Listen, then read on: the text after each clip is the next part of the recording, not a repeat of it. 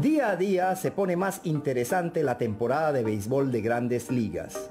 Una temporada en la que participan un gran número de colombianos que ponen en alto nuestros colores patrios. El béisbol de las grandes ligas es un entretenimiento muy apetecido por los isleños.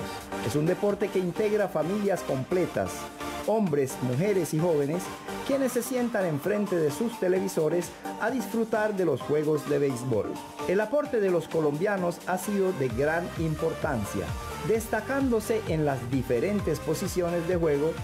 Ejemplo de ello es Donovan Solano, infielder de los Gigantes de San Francisco, quien se destaca como uno de los mejores segunda base en la temporada, manteniéndose con un promedio de bateo de 462, 52.24. Además es el segundo en hits con 24 y es líder en dobles con 7.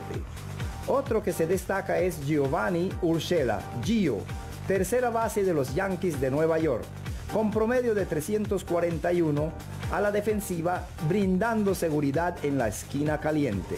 Esta casa periodística dialogó con el entrenador Efraín Díaz, quien opinó al respecto.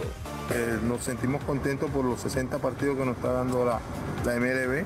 Tú sabes que Aquí estamos ahorita trabajando unos niños, unos prospectos aquí en San Andrés que queremos que lleguen a la Grandes Ligas.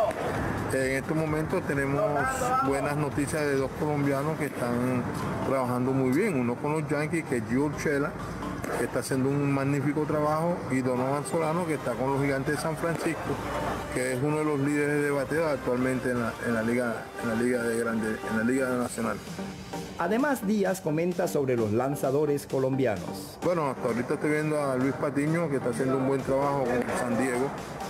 Y está este otro muchacho, Julio Terán, que se nos fue del club de los, se fue de los Bravos para Anaheim, que hasta el momento están haciendo un buen trabajo y con la esperanza de que tenemos que de pronto la isla de San Andrés tenga una representante en la Grande Liga con Jeter Estamos esperando esa posibilidad que se nos pueda este año. Qué buen desempeño el de nuestros jugadores colombianos en las grandes ligas del béisbol.